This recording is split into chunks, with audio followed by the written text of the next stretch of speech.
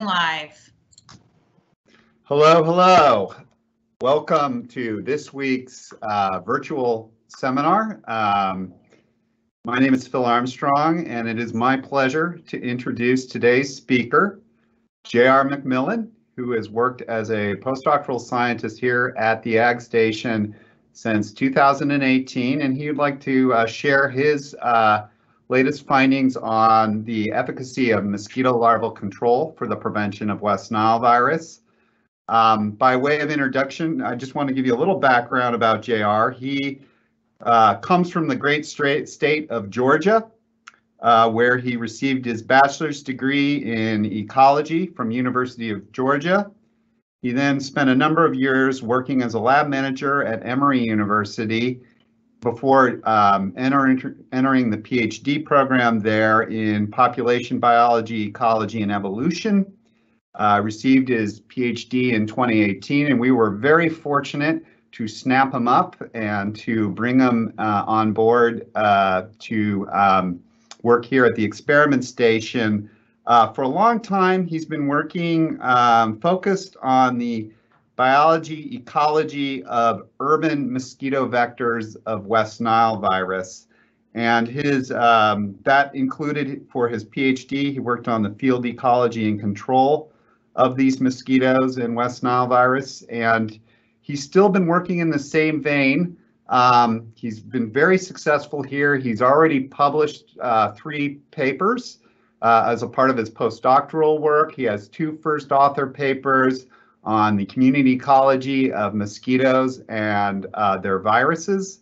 And he also has a, a co-authored paper on the uh, insecticide resistance in field populations of mosquitoes. And he has a number of other papers in the pipeline, one of them which he's going to talk about today, um, titled today's talk, Mosquito Larval Control for the Prevention of West Nile Virus, Is It Enough?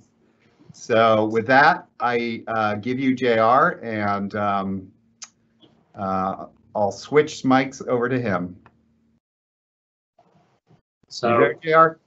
I'm here. Thanks so much, Phil, for that introduction and for CAES and the the employment opportunity here, the research opportunities here, the friendship opportunities, and just the, um, especially today, the opportunity to actually share my work. I've been sort of waiting for the opportunity to present at one of these lunch meetings. So even if it's virtual, I'm happy to do it.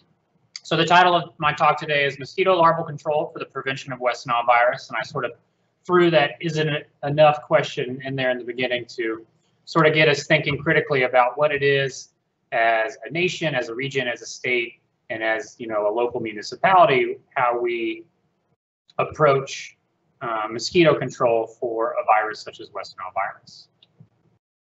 So before I begin, I just want to thank everyone who's been involved in my research life. Uh, a lot of uh, field surveillance for mosquitoes and viruses and wildlife, even you know making models or doing experiments takes a lot of help. And so there's been a lot of undergrads, a lot of volunteers, a lot of graduate students, a lot of friends, mentors that have all uh, contributed to my success in some ways. And without them, I truly wouldn't have been able to have been as successful as Phil thinks I am. So the outline of my talk today, I've sort of broken it into four sections. Um, the first is an extremely sort of brief intro into a historical perspective of mosquito control and the current state of mosquito control in the U.S. and um, zooming in on Connecticut with the arboviruses that are under surveillance by CAES. The second part is that we'll walk through what the guidelines of the U.S., um, specifically from CDC, for the prevention of West Nile virus um, exposure in, in, humans. And then the third part of the talk is really the meat and potatoes of this. This is my own research, um, both at Emory and here. And I'll sort of wrap it up with just some applied outcomes of the work from CT and some um, future work that I would hope to do in my career. So we'll begin with our very, very short history lesson. So really the foundational knowledge of mosquito biology, ecology, genomics, control, whatever you want to call it, it really begins with malaria. And this is really the first pathogen that was fully described um, in its transmission between mosquitoes and humans. And we're all I'm sure, very familiar with malaria and the scourge that it's been to, in human history.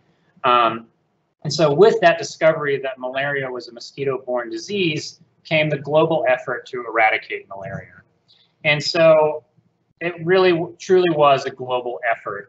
Um, you could consider it a top-down militaristic approach, but it applied a lot of um, techniques and methods and control aspects to really get um, human transmission, you know, down to eradicate it.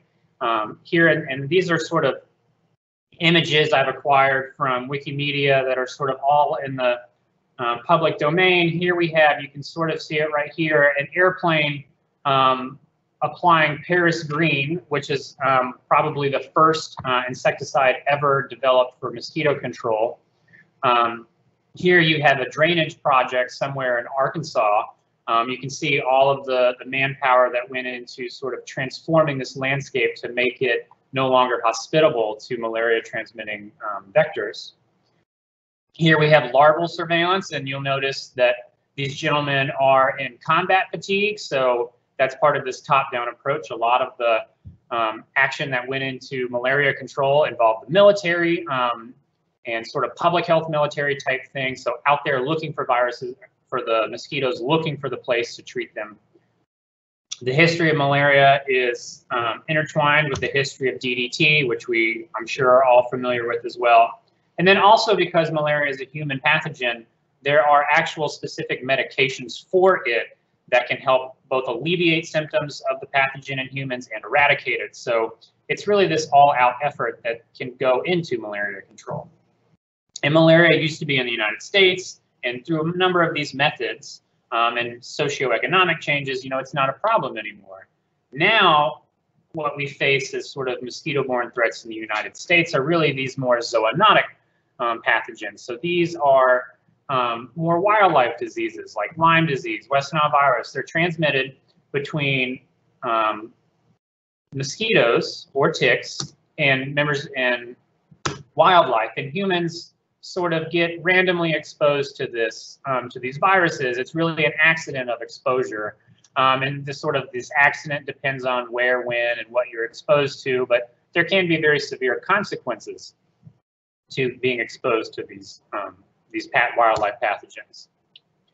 And so not only with the different ecologies of these pathogens comes different um, aspects of mosquito control for them. So to think about West Nile virus specifically, you know, we're really sort of, it's the biggest thing to think about is, you know, malaria was more of this rural, exurban type um, pathogen, but that's not really what our, you know, society looks like anymore. Most people live in cities and something like West Nile virus is much more common in cities. So you just can't go, the landscape has already changed. You can't necessarily make massive natural changes to an environment to control these vectors. You know, we're looking more at um, the application of insecticides in discrete, you know, sort of containers. You know, we're trying to identify places where there are larvae and treat them um, individually rather than broad scale applications of insecticides, say from an airplane. We have public health messaging. So trying to notify the public of where viruses might be, when they're most active, um, things like that. And then finally, we are sort of limited in our approach where there are only general treatments for a number of these pathogens. So West Nile virus, there is no vaccine. There is no standard um, specific antigen course of treatment or what you will in a hospital to treat someone who gets this infected. So really what we're facing in the United States right now is much different than the historical foundation. Uh, and indeed, West Nile virus is sort of emblematic of really the primary um, wildlife uh, human hazards in Connecticut. All of the viruses under surveillance uh, by CAES are zoonotic, meaning they exist in some non-human wild animal and mosquito cycle. Um, and like West Nile virus, occasionally exposure to these pathogens can be quite severe. So just to sort of briefly highlight some of the ecology work I've done in a slide or two about this is really the primary vector threats of mosquitoes in Connecticut are really Eastern equine encephalitis, um, which is a pathogen transmitted by this mosquito here, Culiseta melanura. Um, what we have here is the epidemic curve of isolates in Melanura, colored here in sort of aquamarine. So you can see that most of the, and this is time, and this is about, you know, late July into October, really the greatest risk of triple E is in late summer. And you can sort of see these red dots here, and it's tough to see at this scale, but these are all the surveillance sites in Connecticut. And these red dots are all the high risk areas for um, Eastern equine encephalitis. So you can see this, they sort of aggregate together in space. And you see similar patterns with West Nile virus, but in sort of different places. So it's transmitted by different species. Um, you can see that this species here in dark blue, Culex pipiens, it's really more of a full summer risk of exposure um, based on viral activity in the species in the state. And then these red dots, if you can imagine it, this is I-95, 91 going up through the state. So really, as we know, West Nile virus is a very urban um, disease here in Connecticut, and these are where they are. To highlight how this looks different from other viruses in the state, here are just sort of two um, mammalian arboviruses. So these primarily differ from West Nile virus in their main host. So West Nile virus and Triple E are transmitted among birds, whereas Z viruses are transmitted among mammals, mainly deer. Um, and their sort of epidemic curves and risk maps also look a lot different. So what the main thing to take away from these sort of epi plots right here that show you how many viral isolates come from a different species is just the colors. There's a lot more colors in the mammalian arboviruses, meaning that there's more species that seem to be important to its transmission cycle. You also in these maps see a lot less red. So risk of these viruses is really more diffuse across the landscape. There's really no one particular type of habitat that stands out more than another. And these have very important implications for not only how we understand the ecology and epidemiology of these viruses, but also how we implement surveillance programs and mosquito control strategies. And to some degree, we have sort of a benefit with the um, avian arboviruses, Triple E and West Nile virus. You can see we continue the same theme here of using colors. The avian ar arboviruses are a lot less colorful and a lot more uniform in terms of what vectors are really driving risk. And so these are really the diseases I've been focused on in my research um, as we move forward in the talk. So since West Nile virus is the focus of my research, what is the national strategy for the control and prevention of this virus? And briefly, I'll just take a break here to get some water, and if anyone has any brief questions, um, I can try and field those.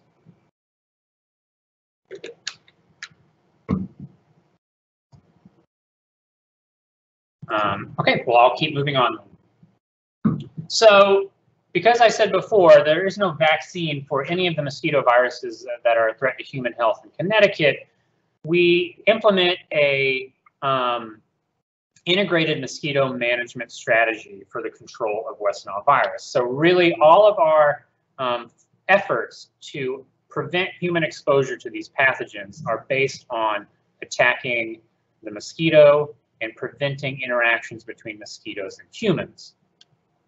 So by an integrated um, management system, what I mean is that you can't rely on just one method to impact the disease. You have to use a variety of methods that reduce uh, mosquito populations, improve human health and enjoyment of the environment, and um, decrease the chances for mosquitoes, infected mosquitoes, to come into contact with humans. So this includes eliminating, eliminating breeding habitats, reducing populations, interrupting contacts, blah, blah, blah. So for West Nile virus and other zoonotic diseases, what are we really talking about? Well, in terms of reducing larvae, um, we're looking at two, two strategies. One is source removal. So this is actually eliminating the habitat outright. So for thinking about mosquitoes that breed in tires, you know, tire dumps, uh, abandoned swimming pools, um, flooded areas. You know, this is really, this is getting rid of the water so that there are no opportunities for mosquitoes to lay their eggs and develop as larvae. The other strategy is source reduction. So you can't remove the water source, but you can treat it. You can do something to the water that makes it inhospitable to mosquitoes. So a primary example of this is applying a insecticide to the water. So this is what's called a mosquito dunk that you throw in the water and it sort of um, elicits a toxin slowly through time and kills any mosquitoes that show up. The next part of our integrated mosquito management program is implementing personal protection. You know, wearing your bug um, spray, wearing light colored long sleeve clothing in summer to prevent mosquitoes from biting you. Uh, EPA, this is just a screenshot from EPA giving all sorts of different resources about um, repellents to use and things like that. The next thing is modifying human habitat. So somehow modify your space so that mosquitoes can't enter it. Those are things like screening your windows. Um, it's not very prevalent here in Connecticut, but in Georgia, where I'm from, a lot of people have air conditioning. So there's really no interaction. Um, you know, there's never windows open and houses in the South. So that's one um, example of a modified human habitat. So the big one, it's often what we think about because of malaria history is reducing adult populations. So these are spraying chemicals into the environments that kill or repel mosquitoes. You can do this at sort of a, a homeowner level. So this is something you buy and attach to your hose and sort of spray it in your yard. And we're also sort of thinking of the historical context of someone with some sort of machine fogging an area or an airplane or a helicopter spraying it over large areas. Um, and then finally in this strategy, you know, we have um, our public health outreach, you know, inform the public of risks, give them the tools to know how to protect themselves and how to prevent mosquitoes breeding on their property. So again, as before, as we've honed in on West Nile virus in this literature, we're also going to hone in on this aspect of larval source management as really what the primary focus of my research in this area has been. So as I said, this is sort of, these are sort of very brief um, introductions. Um, we're all sort of, you know, we're building to the point now where we're discussing what I've done before I came here and what I've been doing since. So to check to see if anyone's paying attention, um, it's not just eating pizza, I have a little quiz for the audience. Um, everyone in the mosquito labs don't um, give away the answer, but so the question is, what mosquito control method or methods have been shown to reduce the incidence of West Nile virus in humans? So I'm not looking for anecdotal evidence. I'm looking for what is a published factual account of something that has um, reduced transmission and infection in humans. So is it public health messaging, fixing infrastructure? So things like roads and dams, um, large, so control on private property, aerial applications of insecticides, any of them or, or none of them. I don't really know how to check the chat, but you guys are welcome to sort of briefly just send in any ideas you have while I take just a short water break.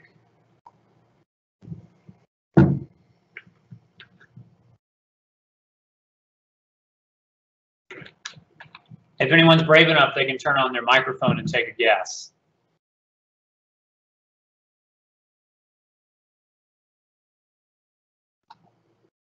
All right. Well, regardless of what you have been thinking or wanting to submit or answer, the answer is aerial applications of adulticides. So this is actually the only form of mosquito control for West Nile virus that has been shown to reduce the number of cases of West Nile virus. Um, and even this information is pretty limited. There's very few papers that actually show this effect, and then there's plenty of other papers that have been unable to show this effect. Um, and part of the reason why it's been so hard to show these effects is that um, an application like this it would be considered reactive. You know, spraying insecticides from an airplane takes money, it takes time, it takes coordination. You know, so there has to be a really big reason to do it. And so typically something like this is not implemented until some sort of threshold of hospital cases has shown up.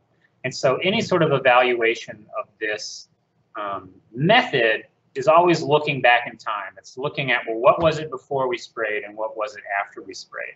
And that can be very hard to sort of show an effect. And to be honest, there's really, you know, something like this hasn't happened that often. Um, and in general, there isn't really a lot of research on if what we're doing to control mosquitoes is actually working or not. So this is sort of where my research journey begins. You know, I sort of stumbled into this interest in mosquito control um, from a scientific standpoint uh, when I joined my lab at Emory right out of undergrad to just sort of lead different surveillance projects that they were uh, doing in and around Atlanta. And these are just some pictures of all of the teams um, members that have been there since I was there. I ended up being at Emory between um, being a lab manager and a graduate student for about um, 10 years. So these are going to be a lot of busy plots, but before I started, my um, who became my dissertation advisor, Gonzalo Vazquez-Prokopec, published this spatial analysis using mosquito surveillance data on West Nile virus in Fulton County, which is the main county that encompasses the city of Atlanta. And what he found was that all of these metrics of risk really associated with combined sewer overflow streams. So what these are, these are wastewater management systems. They're pretty ancient. They were sort of developed when cities first started being built, where to manage um, excess waste and precipitation runoff, cities essentially designated streams as dumping points for waste. So all the runoff in areas would be funneled into these catchments, into natural streams to wash them out of the city. Um, as cities developed, they started building some facilities around these streams that would minimally treat um, in a sewage spillover event. So there's just maybe splash it with some chlorine or filter it through a large grate. Um, but sort of what this plot is showing here, the big takeaway here is these little triangles are where CSOs are. And you're seeing a lot of bubbles that spatially correlate to one another around these systems. So this is saying that mosquito abundance is really sort of somewhat spatially related to these facilities. The next bubbles that show up within this is that infection rates in mosquitoes are really sort of bubbling around these um, facilities. The third thing is that there's some association with um, dead bird reporting. Um, so if you remember when West Nile virus was first introduced into the United States, there were sort of massive bird die-offs across the country. There was big news. People were calling in, sending in birds. You know, what? Why are all these dead birds around? And dead bird reports in Atlanta and Fulton County seem to really somewhat cluster around the facilities as well. And then finally, the fourth aspect of it is that at least here in the southern portion of Atlanta, this is these reds are clusters of human infections. So you're also seeing clustering of human cases near these CSO streams. These CSO streams seem to jump out at us as like a really interesting place to do some research. And indeed, the year before I started, they had started doing sort of student-led surveillance of mosquito ecology and population dynamics in these streams. So we picked two streams um, here, I don't know if you're familiar with Atlanta, but this is where, um, man, I've already, uh, 75 and 85 meet. So Peachtree Street, if you know anything about Atlanta, there's a Peachtree Street that runs right through here, and this is where one of the facilities is. And then the non-CSO facility is right next to the Emory campus. And then this is sort of a map of where we were sampling in the CSO stream and the non-CSO stream. Um, and these are just some more spatial ideas of where they are. And you can see they're kind of the same. They're pretty rocky, um, pretty uh, disturbed. So the big thing about these CSOs that started unbeknownst to um, our lab, what we essentially found out is that the EPA fined the city of Atlanta something like $4 billion for using a CSO system. And this is sometime, I think, in the late 90s, early 2000s. And so they were like, Atlanta, you need to fix this. So what they did is they built a massive underground sewage treatment facility to take all of the CSO water and put it into um, put it into treatment. So it's a storage tank that could hold the wastewater and then slowly release it into the actual treatment systems. And so essentially what that did is that eliminated these combined sewage overflow events in the CSO streams. So you can see in this graph right here, in the year 2008, there were something like 160 CSO events. And then they completed the construction of this facility in 2008. And you can see in the years after that, almost zero. So it had a really big effect on the number of um, overflow events. But what we wanted to know is like, well, what did this do to the mosquito populations in these creeks? So here as sort of a brown line, we're looking at the number of larvae, the average number of larvae we found in our collection sites all in these creeks by month. Brown is the CSO, blue is the non-CSO. And you can see pre-remediation, this CSO stream is highly productive for mosquitoes. And once CSO stop, it looks just like a normal, quote unquote, normal urban stream where productivity is far lower than what it was when the stream was experiencing um, sewage events.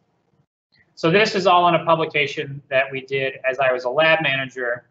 And then sort of um, looking back on this for a presentation at the American Mosquito Control Association, we were in a symposium on trying to think about, well, you know, are all these things that we're doing to control mosquitoes actually larvae, you know, impacting adults? And so what I have here is just our weekly collection. So in red are CSO collections and black is the non-CSO. And these are just track collections, you know, and so do we see any real difference between um, what we're calling culex species? So culex are hard to identify, and sometimes you just are lazy and you're like, it's a culex, and you put it and you count it. And you know, we don't have quite the identification expertise that John and Tanya and the other um, seasonals have when doing um, mosquito surveillance. But so if we then look at what we could identify, the main vector of West Nile virus in Atlanta, so Culex quinquefasciatus, Again, similar type of plot, sort of looking at collections. And then for another possible um, vector of West Nile virus in Atlanta that's more early in the season, you know, do their collections look different? And statistically, if we sort of account for repeated measures by year and week and, you know, control for the distribution of the data, it turns out there's really no difference in these collections between creeks. So you have this sort of, we're starting to see this outcome where, well, we've changed larval productivity, but we haven't made any impact on what we really care about, which is how many mosquitoes are out there that could bite us. So a similar type of plot here, if you know, we start thinking about, well, what about infected mosquitoes? You know, is that any different? Um, and you can see here, detecting virus is a fairly rare event um, it's the same type of plot. This is every week of collection, and the, each point is sort of an infection rate. And these sort of in this Culex species and then this Culex plincke fasciitis. Um, and again, the same takeaway here is that there isn't there isn't much we can say about the virus between a CSO and a non-CSO creek. You know, we could have the point where a lot of these collections we were doing came after remediation, so we don't really know what virus transmission looked like beforehand. Um, but even if we have eliminated the problem of larvae, we still have the problem of adults and infected adults. One sort of interesting thing that I wanted to point out that went on with this work, only so I can say that I did it, is that in the winter in Georgia, which is not like winters here, we would actually physically go into these CSO facilities, into these large underground wastewater treatment facilities that handle sewage overflow. And here is a photo of some undergraduates looking for mosquitoes inside this facility, obviously not during an overflow event. Now we did take extreme precaution going in there. We had gas meters. So we tested the tunnels before we went in. We had oxygen meters in there with us to let us know if there were dips in oxygen. We could only go into these facilities if the chance of precipitation was less than 20%. Um, and a employee of you know wastewater management was always there when we did this. Um, but the whole point of this is to you know take collections into the facility to see if there's something about the facility. mainly what we were doing is trying to see if mosquitoes overwintered in these facilities. And I sort of wear this work as a point of pride because it was terrifying and extremely difficult to do. So it's hard to get an employee to show up to let you in half the time.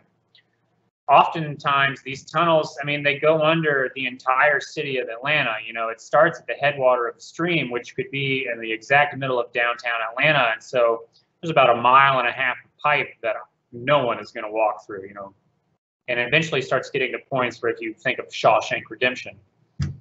Um, and other parts about it too. I don't know if people have seen Dawn of the Dead remake in 2000. There's a scene they're in. Um, they're in like a parking garage, and there's a light in the far distance, and there's zombies around. You can't see anything that's going on, and that's like what it felt like down there. And then they also have this heavy machinery up above you, scraping and grinding, and it sounds like the Tyrannosaurus Rex from Jurassic Park. So it was just sort of a bone-chilling thing to do, and it turned out to give us almost no data. So we hardly found, this is sort of a graph of mosquito collections and virus isolations in these facilities. And by month, so January, February, March, April, into December. And really the big takeaway from this is that, well, mosquitoes are in these facilities when they're most active in the outdoors. So they weren't really an overwintering site for mosquitoes, and we didn't really find any virus with them. Um, but really, this was just all sort of part of our CSO um, research um, into sort of what happens when you change a major part of infrastructure um, for wastewater management in the city. So from this work um, came spawn some of my dissertation work. So this actually sort of um, occurred by happenstance.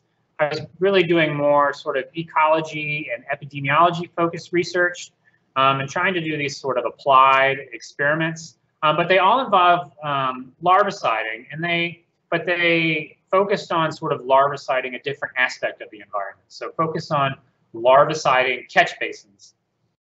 And I have a graph of catch basins showing up in a, in a bit. But these are sort of where I was doing this research. And what I've shown, these are the maps of my sampling sites as part of my dissertation. These crosses represent trap sites, the circles are catch basins, and these sort of gray areas outline either a treatment zone or sort of a surveillance zone. And these sites are located within CSO catchment areas. And I doubt anyone remembers this map from earlier, but these two sites also happen to be within um, historical clusters of human West Nile virus infection prevalence. I said catch basins, and in case you don't know, a catch basin is a physical device built either into or on the side of the road that allows egress of precipitation runoff or other runoff um, on a street um, and sort of guides it into um, either a sewer or a combined sewer system. And it's called a catch basin because it's built with a catchment. So water comes into the basin, it collects, once it gets to some sort of level, it spills over, drains into the sewage system. And this catchment is here to um, prevent debris um, from entering these um, precarious systems. As you can see here, this is what I call a catch basin selfie. I've opened the lid to the catch basin, and here's me, and I'm taking a photo of what it looks like. Um, and you can see that this is my chosen um, experimental environment. You know, I'm not working at a bench. I'm looking at the trash of society in catch basins and the mosquitoes that are in there. Well, the strategy behind why we're looking at catch basins is that I'm sure you can think of even if you just now think about, well, what does the road look like on my way home? They're everywhere. They're in every city. They're ubiquitous. Um, they all pretty much follow the same design in terms of how they're built. Um, and because they hold debris, this water is quite gross and polluted. And it's a really nice place for Culex mosquitoes, which are the primary vectors of West Nile virus, to lay their eggs. And sort of the main two classes of insecticide that are used to treat these catch basins are um, bacterial-derived toxins, so like BTI, like think BTI corn. Um, there are specific toxins from a certain species of BTI that kill mosquitoes. And then another one is methoprene, which is more of an insect growth regulator. What that does is when it's ingested by the larvae, it prevents them from emerging in, as an adult. Um, this is sort of an example of what methoprene looks like. Um, it's this briquette, and these are conveniently shaped to be fitted through the holes in the lid of a catch basin. So when you apply these things in the water, it kills the larvae, prevents them from emerging. And what I had been doing in my project was more ecological. I was looking at species distributions and applying insecticides to see if I could impact populations. You know, I was trying to think about the ecology of this virus, but essentially the simplest test of what I was doing was trying to see if I kill larvae, am I also killing adults? Right?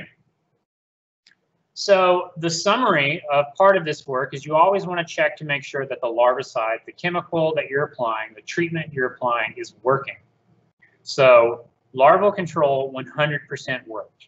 When we were using the bacterial bacteria-derived um, toxin, we were seeing up to 90% reductions in larval and pupal collections in treated basins compared to non-treated basins.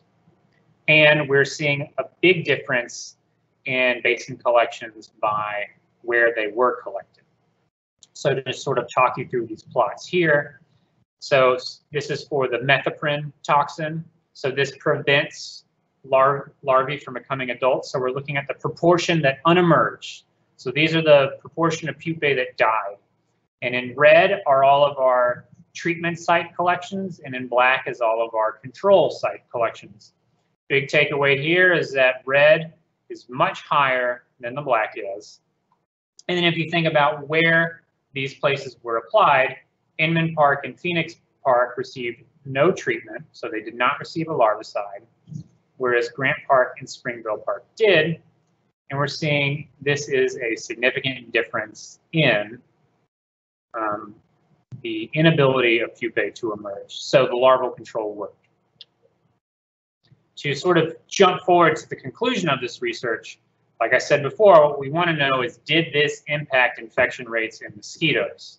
So similar type of design. We're looking at the red line, which is the infection rate in treated sites, and the black line, which is infection rate in the untreated sites. So this is sort of a smooth curve between them. And while visually they look different, statistically they are not different. So from early on in my graduate research, I sort of left with this impression that, you know, larval control isn't really impacting the population as we would expect it to.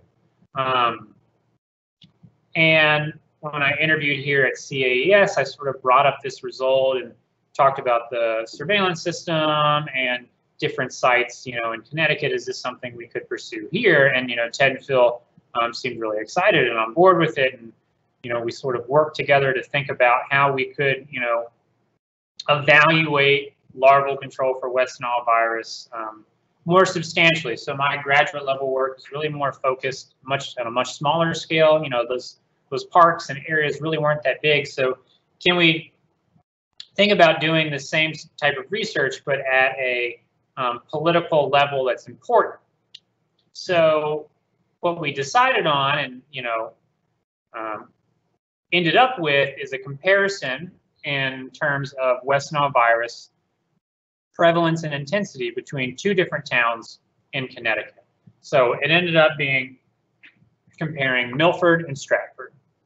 And the objective of this work was to evaluate the ability of larval control programs to reduce larvae and pupae in the catch basins, to reduce adult populations, and reduce prevalence of West Nile virus. So what I've shown you here in this map, you can sort of faintly see roads um, all throughout the area. These green dots are where CAES has trap sites. The red stars are where I've placed traps. And then all these black dots are catch basins within 500 meters of a trap. All right. And so some of these traps have gray around them. And now these are sites that I sampled catch basins and um, sampled adults. Whereas a site like this, um, while I've mapped the basins, I did not sample them. If you are familiar with Milford, this is right around the Connecticut Post Mall, so it's a pretty busy road. There's a lot of parking lots, a lot of areas that perhaps Milford has a record of as a catch basin, but are unlikely to treat. So in Milford, what makes Milford interesting is that they practice comprehensive larval control. So they have a fully funded operation where they hire an applicator to fully treat the town for mosquitoes. And so what that treatment program includes are biweekly treatments of tidal, flood-prone tidal sites and then just non-tidal flood-prone sites. And they treat these sites every two week with um, a bacterial toxin larvicide. Um, they treat it from May to October. And then coupled with that for West Nile virus, they do about three seasonal treat, three rounds of treating of their catch basins, where about 75,000 catch basins receive another um, bacterial toxin product. Um, and this typically occurs between June to August. So sort of as a foil to Milford is Stratford, which is right next door across the Housatonic River. Um, and their sort of treatment program varies quite a bit. You know, they actually only, um, when I first started, I was under the impression that they did not treat, but apparently they do treat, but it's only once a year and it's only 5,000 basins and it's only when they have money. So, you know, we're sort of running into a theme of West Nile virus control research where money is a big factor here. So they don't have quite the amount of resources to really go all out on mosquito control. So briefly, just to show you, this is the um, insecticide that is used in both towns. The applicator actually does the treatment in both towns.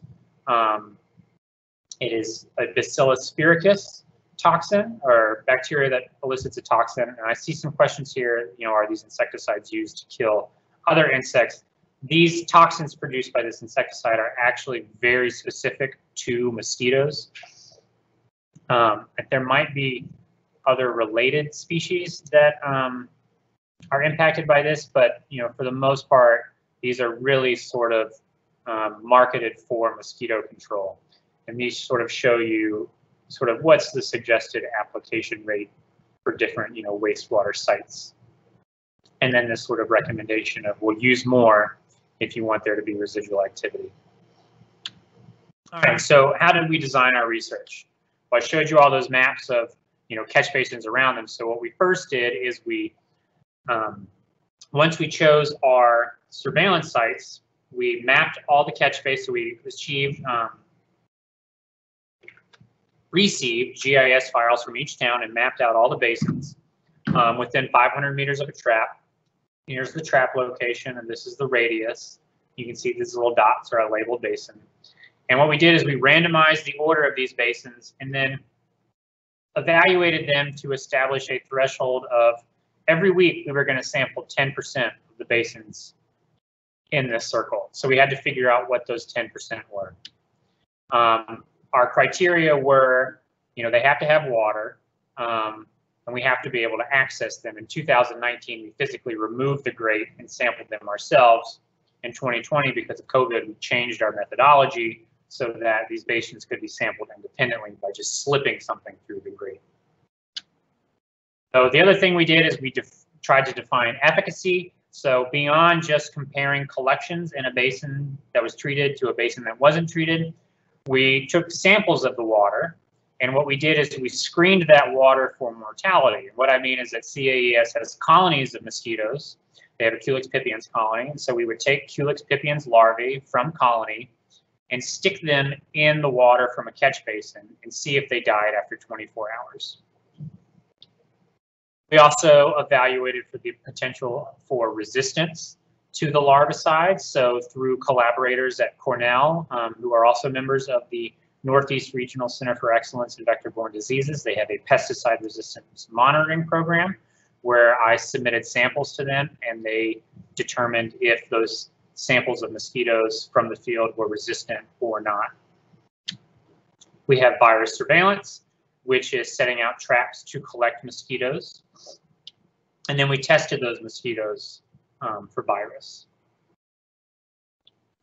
So, as I did for my graduate student work, we want to know, we have to check to make sure the larvicide is actually working. So what I have here are bar plots of the proportion of sampled basins that contained a fourth instar larvae, contained a mosquito larvae. And red is Milford, and gray is Stratford. Um, and really what you see here, were Milford, where there were much more treatment events, there were three treatment events. Um, the first two weeks after the larvicide was applied, you can see a decline in this prevalence compared to um, time periods that we considered untreated. So either they occurred early in the summer before the program actually started, or they were beyond what we're considering the threshold of four weeks. So the larvicide theoretically should be active for up to four weeks in these catch basins. So we're assuming after four weeks, unless it's been retreated, that um, there's no longer an effect of the insecticide. If we look at the same type of plot, but the number of larvae collected in catch basins, again, you could see in Milford where there were much more application events, we're seeing a decline in about the first two weeks post-treatment. Um, you'll notice that these effect sizes are much more pronounced in Milford than they are in Stratford. Um, I think this is likely due just because there's just more weeks that can be that we can consider a treatment week in Milford than Stratford, and I'll show you why um, in the next couple of slides. In terms of pupae, so same type of plot again, except we're looking at the proportion of basins sampled that contained a pupae. We're seeing a two-week decline in Milford and a variable effect in Stratford. And finally, perhaps overkill, the average number of pupae collected in a basin, so actually counting the pupae. Um, it's tough to tell, but there is an effective treatment. Um, but really what it is is that overall there were just fewer pupae in Milford and all across all basins than there were in Stratford. So this is why I think that even though in the plots before, we're not really seeing a strong effect size in Stratford, um, to me, that's an issue of sample size. So I said earlier about defining efficacy, so taking a water sample and screening Culex pipiens larvae for mortality in that water. And that's exactly what these are. This is the estimated average mortality in all of the water samples tested. Red is Milford, gray is Stratford. And there's no difference in these bars between the towns. But what you see is that in those collections that happened the very first week after the larvicide was applied, we're seeing very high mortality. All right, and it occurred in both towns. So that means that when Stratford treated, it did, it was eliciting um, toxic effects on mosquitoes. And then in both towns, within a week, within two weeks of application, it's declined, but we're still seeing some level of um, control in the basins.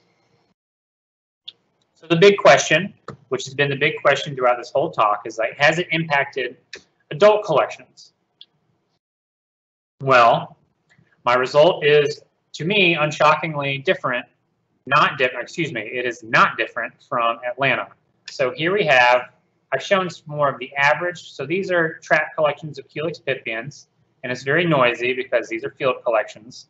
But overall, if you look at the red, which is Milford, and the gray, which is Stratford, collections tend to follow the same trend. They rise and fall together. And the same sort of occurs if you think about West Nile virus prevalence in the mosquitoes. So when one town has infected mosquitoes, the other town has infected mosquitoes at about the same prevalence.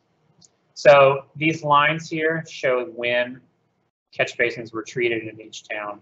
Um, this is something that we've included for um, our publication, but it just sort of gives you an idea of you know, when basins were treated. Um, as you can see in both Milford and Stratford, they're already treating basins when there are lots of adults already present in the environment. So we're not seeing any statistical difference between these collections of adults or of West Nile virus infection. So really, what are some positives to this? You know, it, I, I don't want this to be some some sob story of, you know, what we're doing isn't working. It's just more of like, well, we really need to, you know, evaluate it a little bit more. So one aspect that is um, sort seems to be a positive is these difference in light trap collections between the two towns. So light traps are a type of trap that really collects um, mosquitoes that are younger. They're looking to blood feed. You know, they they haven't come from very far. You know, they don't have the energy. Um, and you can see because Milford really practices this comprehensive larval control, you know, they're treating basin habitats, they're treating tidal habitats, they're treating flood-prone habitats, that collections in these light traps are far below the average of collections in Stratford. So we are able to see an effect on um, adults when we think about it from this perspective of mosquito control. You can also, we have the suggestion that trap collections are somehow related to uh, metrics in catch basins. So here we have on the x-axis the total number of pupae collected in that sort of zone around a trap and the number of adults in a trap within that zone.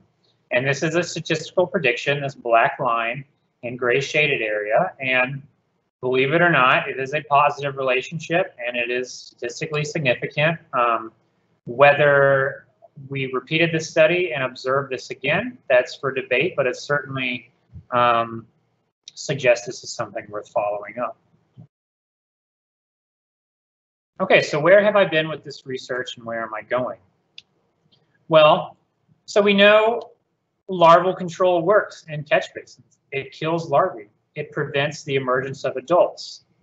What we're still struggling to show is that that level of control has any sort of impact on the West Nile virus and zoonotic cycle. You know, we still need more work to show that larval control can reduce adults and can reduce infection prevalence. So some of the applied outcomes that you know towns could think about from these results is that you know there's always room for improvement. And I'm going to call these operational improvements. We can improve the way that we distribute um, insecticides in the environment. So the first one I have here is define and treat hotspots. So what I mean by this is that all of these points, collections and catch basins are highly aggregated.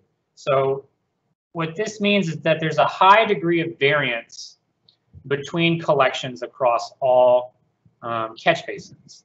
And so it could be worthwhile for a town to, rather than uniformly treating all basins, you know, three times, you know, take a year, figure out where the real problem areas are and attack those areas. You know, you might be able to have more effect um, at a local scale that way than on just a uniform distribution.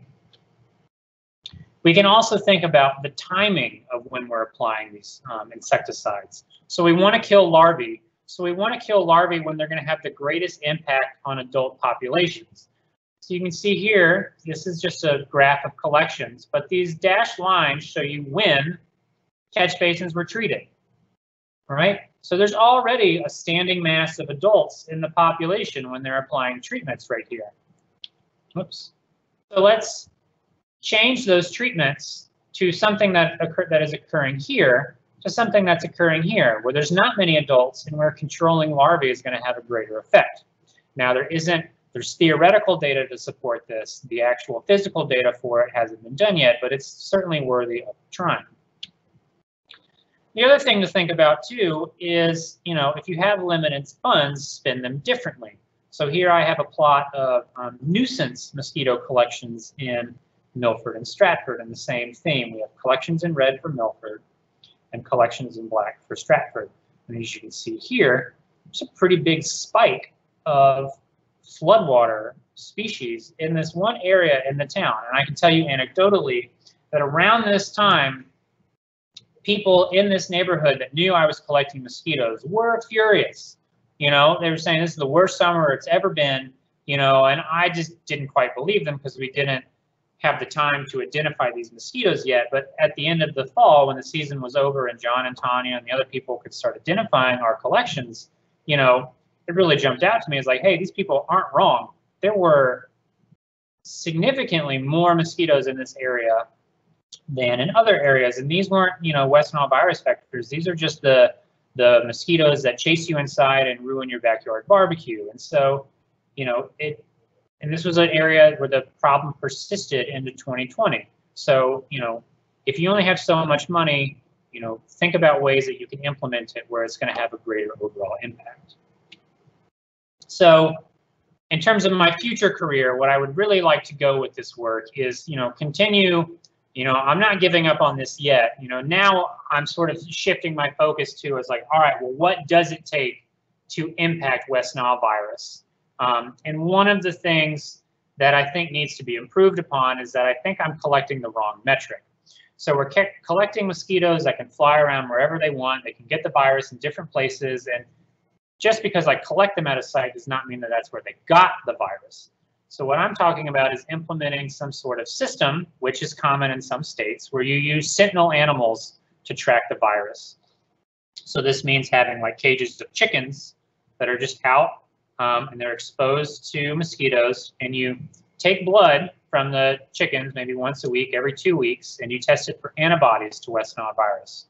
If you start with a flock that you know has no antibodies to West Nile virus, and through time you start picking up antibodies, you know that transmission actually occurred in that place. They got exposed, they cleared the infection, and they produce antibodies. Another reason to think about it from this standpoint is that it turns out calculating statistical power is a lot easier under this experimental design than another design. So beyond this too, Phil and I have been trying to um, develop different control strategies for other viruses, such as um, Triple E. We're all familiar with the outbreak that occurred in 2019, and we're working on some prelim data, um, different devices that we could use um, to impact these mosquitoes. And um, the goal of this is part of my career goals to really think about how we can expand um, impacts on systems beyond what we already know um, in our treatment um, plans. So with that, um, I think I went maybe a little long, but I was just excited to show you and thank you all for participating and that's my talk. Great. Well, thank you, JR. Um, I think we have a little time for questions. You answered one question already during the talk, so I'm going to skip to question number two. To what extent is modification of the environment to make it less favorable for mosquito larvae compatible or not compatible with manage management of wetlands for other biological goals? Yeah, so I don't think anyone manages wetlands for mosquito control anymore. I think it's um, everyone that does it uses sort of a One Health approach, um, environmental approach. So I think CT, um, the state of CT, where they do implement any sort of wetland um, control, it's really more about making the environment healthy for the environment um, with an added benefit that perhaps this improvement will make mosquito populations manageable. So allowing for more natural flow of water in and out of marshes, um, allowing fish in there, you know, getting rid of invasive species. So yeah, I mean, wetland management for mosquitoes is a very old idea and it's not really done anymore. Okay, question number three. Is the effect of aerial adulticiding altering human behavior and exposure to infectious mosquitoes or significantly reducing the mosquito population, limiting virus transmission?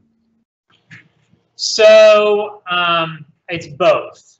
I don't, so I, well, the human behavior thing is tough. That's never part of an actual um, retroactive study. Um, in terms of humans, what they're looking at is um, neuroinvasive disease reported to hospitals. So these are people that are so sick that they show up to the hospital with West Nile virus. The system is not going to miss them. And so um, what that means is that what they're looking at neuroinvasive case rates before and active a treat after a treatment, and they're seeing a decline in a treated area and not a decline in an untreated area. There are also other operational publications that clearly show you spray a field with an adulticide and you compare mosquito collections pre and post collections, um, it goes down. So the problem with that mosquito aspect is that two weeks later, they're right back up. So it definitely, the assumption is that when they do the human data, it's killed mosquitoes and therefore prevented human infection. But, you know, I can, there are some interesting papers on human behavior that I could, um, it seems to be what's been done is more related to lifestyle. Like areas of the country where you spend more time outside that are more rural actually seem to have higher population rates, possibly because they're just more at risk.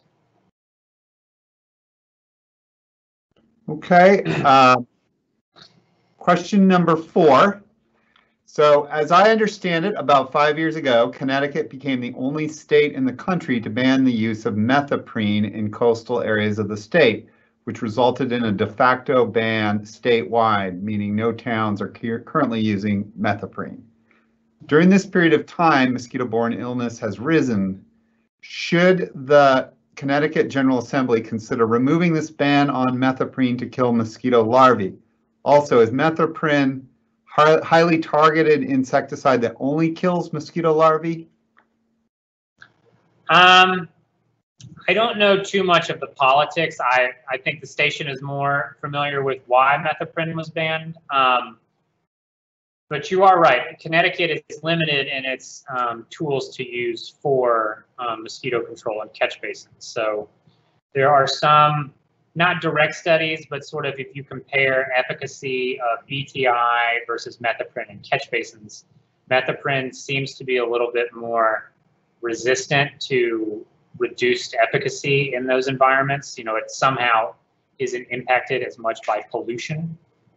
Um, whether or not the discontinuation of methoprene is the cause of um, greater mosquito-borne illness in Connecticut. Uh, I couldn't really say much to. Um, I can tell you anecdotally, based on my research in Atlanta, looking at infection curves in Atlanta and infection curves here in Connecticut, they look an awful lot like the same thing. Um, as Phil and I sort of discussed, West Nile virus seems to be happening on a much broader regional scale than we're imagining. You know, so it's not just like, well, that town has West Nile virus, so we should assume our town is the same. It's more of like what's happening in other states is likely happening in our state as well. And I think CDC has published um, case rates for um, vector-borne diseases in humans is up across the entire country um, in the last decade. So um, in terms of it being targeted, I do believe methoprene is fairly specific to mosquito larvae, but I have to double check the literature on that. Okay, and then the final question, uh, stormwater management is very important for sewer systems. Would flooding events affect applying the chemicals for mosquito control? And can we pack the mosquito control chemicals in a wastewater treatment unit on site? Well, so these CSOs were unique in that they literally dumped out wastewater into the streams. it was minimally treated.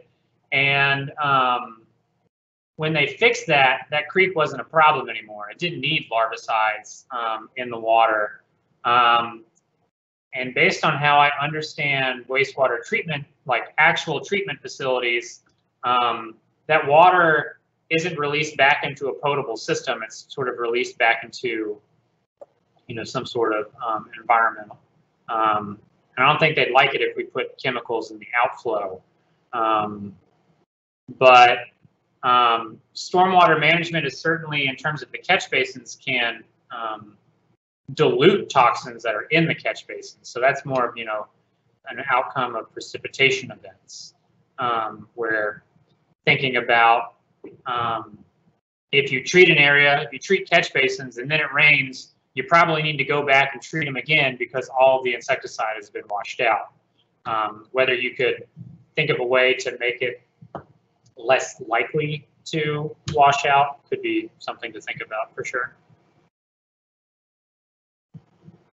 Great. Well, well, thank you, JR. That was a wonderful talk. And um, if you have any further questions, um, feel free to reach out to JR directly. Um, And um, thanks again for your attention.